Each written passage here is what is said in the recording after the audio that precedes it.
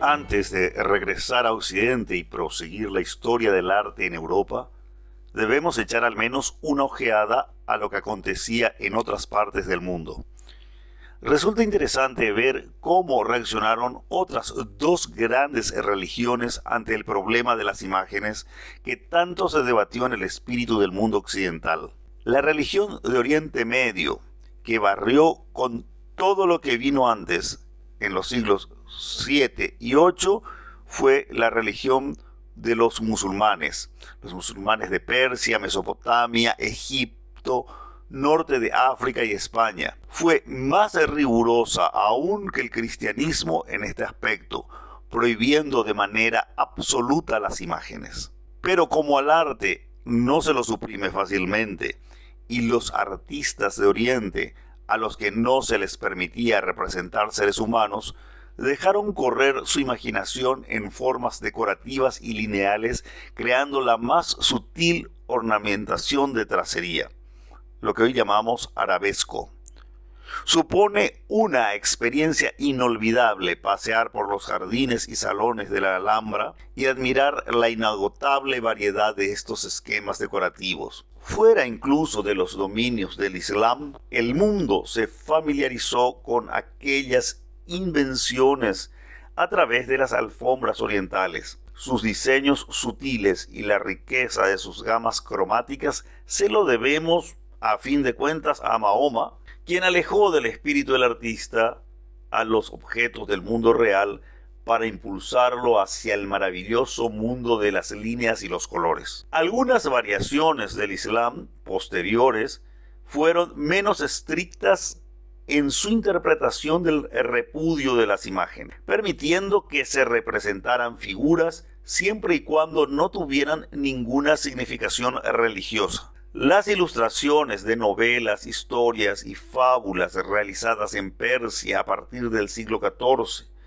y también posteriormente en India, bajo el dominio de los musulmanes mogul, muestran cuánto habían aprendido los artistas de esos países de la disciplina que les redujo a dibujar formas lineales.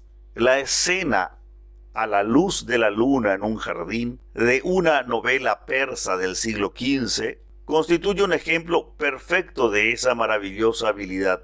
Parece un tapiz que haya adquirido vida en un mundo de cuento de hadas. En él hay tan escasa ilusión de realidad como en el arte bizantino, incluso menos que este. Carece de escorzos, no intenta mostrarnos la luz y la sombra, ni la estructura del cuerpo.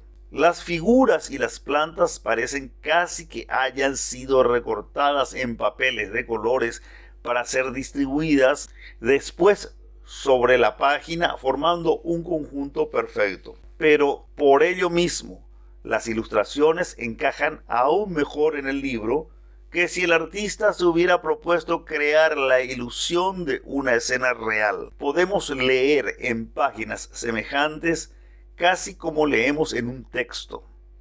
Es posible seguir con la mirada desde al héroe que se halla en pie con los brazos cruzados en la zona de la derecha hasta la heroína que se acerca a él y dejar que nuestra imaginación vague por el mágico jardín iluminado por la luna sin que nunca por lo demás, consigamos integrarnos totalmente en él.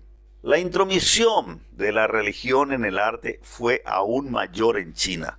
Sabemos muy poco acerca de los inicios del arte chino, salvo que los hombres de aquel país fueron muy expertos en el arte de fundir el bronce desde épocas muy remotas, y que algunas de las vasijas de bronce utilizadas en los templos antiguos se remontan al primer milenio antes de Cristo, habiendo quienes afirman que aún son más antiguas. Nuestras referencias de la pintura y la escultura china, sin embargo, no son tan remotas. En los siglos inmediatamente anteriores y posteriores a Cristo, los chinos adoptaron costumbres funerarias semejantes a las de los egipcios existiendo en sus cámaras mortuorias cierto número de escenas que reflejan la vida y los usos de aquellos lejanos días. Los artistas chinos no eran tan aficionados como los egipcios a las formas angulares y rígidas, prefiriendo las curvas sinuosas. Cuando tenían que representar un caballo encabritado, parecían hacerlo de cierto número de formas redondeadas ininterrumpidamente.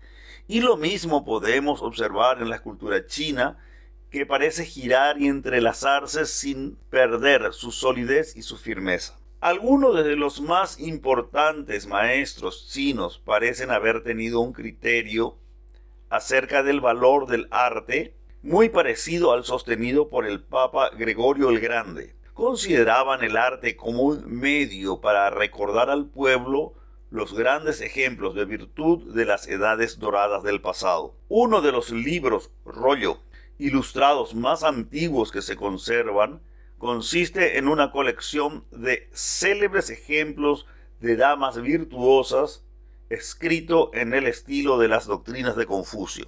Uno de sus dibujos más notables muestra a un marido acusando injustamente a su esposa poseyendo toda la nobleza y la dignidad que relacionamos con el arte chino. Es tan claro en sus gestos y disposición como puede esperarse de un cuadro que también se propone introducir una lección en el hogar. Muestra además que el artista chino dominaba ya el difícil arte de representar el movimiento. No hay nada rígido en esta obra china primitiva porque la predilección por las líneas onduladas le da un sentido de movimiento a toda esta pintura. Pero el impulso más importante que el arte chino recibió había de venirle probablemente de otra influencia religiosa, la del budismo. Los monjes y ascetas del círculo de Buda fueron representados en estatuas asombrosamente llenas de vida. Una vez más observamos los trazos curvilíneos de las formas de las orejas, los labios o las mejillas, pero sin que se falseen las formas reales. Únicamente les sirve de conexión entre sí. Advertimos que una obra semejante no es casual, sino que cada cosa está en su sitio contribuyendo al efecto de conjunto. El antiguo principio de las máscaras primitivas es suficiente incluso para una tan adecuada representación del rostro humano. El budismo influyó sobre el arte chino no solamente al proporcionar a los artistas una nueva tarea, sino introduciendo un concepto completamente nuevo respecto a la pintura. Una consideración tal para los logros artísticos como nunca existió en la Grecia antigua o en la Europa anterior a la época del Renacimiento. Los chinos fueron los primeros que no consideraron el arte de pintar como una tarea servil, sino que situaron al pintor al mismo nivel que al inspirado poeta. La religión de Oriente enseñaba que no existía nada tan importante como la bien ordenada meditación. Meditación significa pensamiento profundo, Meditar es pensar y reflexionar acerca de la misma verdad sagrada durante muchas horas, fijar una idea en el espíritu y contemplarla desde todos los lados sin apartarse de ella. Para los orientales es una especie de ejercicio mental al que acostumbran otorgar más importancia todavía de la que nosotros damos al ejercicio físico o al deporte. Algunos monjes meditaban sobre simples palabras, dándoles vuelta a su mente, sentados días enteros y escuchando el silencio que precede y sigue a la sílaba sagrada.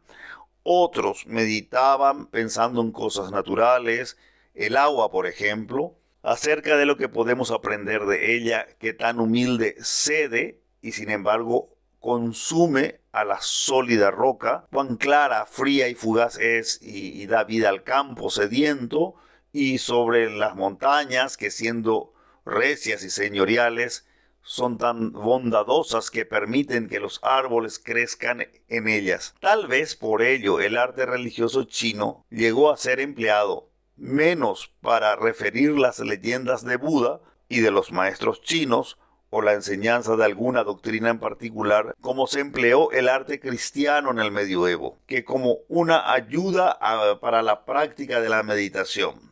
De esta manera, el arte oriental se dirige más a ser un instrumento para meditar que a propagar escenas que podrían ser de catequización, como diríamos en Occidente. Artistas devotos empezaron a pintar el agua y las montañas con espíritu reverente, no para enseñar una lección determinada ni para obtener un fin puramente decorativo, sino para suministrar puntos de apoyo a un pensamiento profundo. Sus pinturas sobre rollos de seda fueron guardadas en estuches preciosos, siendo desenrolladas solo en momentos apacibles para ser contempladas y meditadas al modo que se abre un libro de poesía y se lee y relee en un hermoso jardín, en, leyendo un poema. Ese es el propósito que anima los más excelentes paisajes chinos de los siglos XII y XIII. No es fácil para nosotros adaptarnos a este estado de ánimo porque somos, especialmente aquellos que fuimos criados en las ideas occidentales, eh, somos inquietos, con, poca paciencia, de igual forma que no podemos entender el uso del tiempo en los rituales guaraníes, que, que son rituales que pueden durar días. Pero si contemplamos prolongada y atentamente una pintura como la de la ilustración, tal vez empecemos a experimentar algo del espíritu con que fue realizada, así como del elevado fin al que servía. No podemos naturalmente esperar la configuración de un paisaje real. Los artistas chinos no salían al aire libre para situarse frente a algún tema y, dibujarlo. Muy por el contrario, incluso aprendían su arte mediante un extraño método de meditación y concentración que empezaba por adiestrarse cómo pintar pinos, cómo pintar rocas, cómo pintar nubes, estudiando no la naturaleza, sino las obras de los maestros famosos. Solamente cuando ya se había adquirido a fondo esta destreza, se ponían en camino y contemplaban la hermosura de la naturaleza para captar el estado de ánimo del paisaje. Al regreso trataban de recobrar esos estados de ánimo, coordinando sus imágenes de pinos, rocas y nubes de modo muy semejante a cómo el poeta puede reunir un cierto número de imágenes que se hubieran presentado en su mente durante el curso de un paseo. La ambición de esos maestros chinos era adquirir tal facilidad en el manejo del pincel y de la tinta que pudieran escribir sus visiones mientras se hallaban frescas todavía en su inspiración. Con frecuencia anotaban unas líneas poéticas y realizaban la pintura en el mismo rollo de seda. Los chinos, por lo tanto, consideraban infantil perseguir los detalles de los cuadros y compararlos después con el mundo real.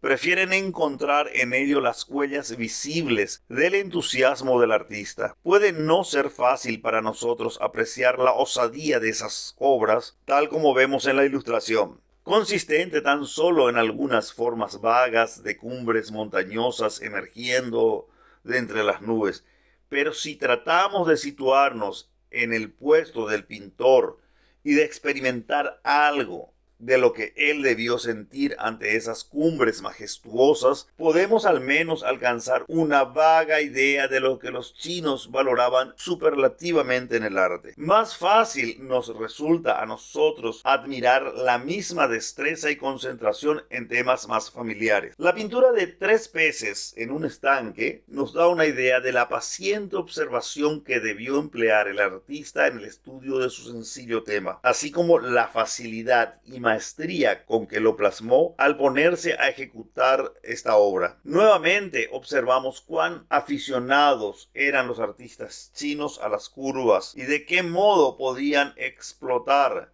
sus efectos para dar la sensación de movimiento. Las formas no parecen seguir una pauta simétrica, ni siquiera están distribuidas como en las miniaturas persas. Sin embargo, advertimos que el artista las ha equilibrado con pasmosa seguridad. Se pueden contemplar tales imágenes durante mucho tiempo sin aburrirse. Es un experimento que merece la pena intentar. Hay algo maravilloso en esta limitación del arte chino, en esta deliberada sujeción a unos cuantos temas sencillos de la naturaleza, pero casi no hace falta decir que tal concepto de la pintura también tiene sus peligros. Con el paso del tiempo, casi cada tipo de pincelada con el que se podía pintar una caña de bambú o una áspera roca fue conservado y clasificado tradicionalmente. Y fue tan grande la admiración por las obras del pasado que los artistas cada vez se aventuraron menos a confiar en su propia inspiración. Los criterios acerca de la pintura se mantuvieron muy altos a través de los siglos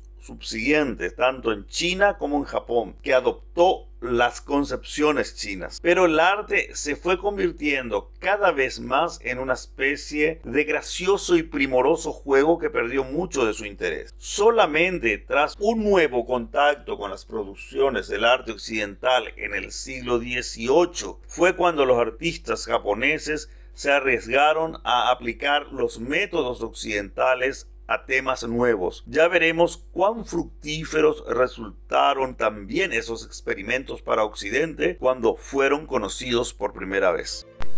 En nuestro próximo encuentro hablaremos sobre el arte occidental en la Europa de los siglos 6 al 11.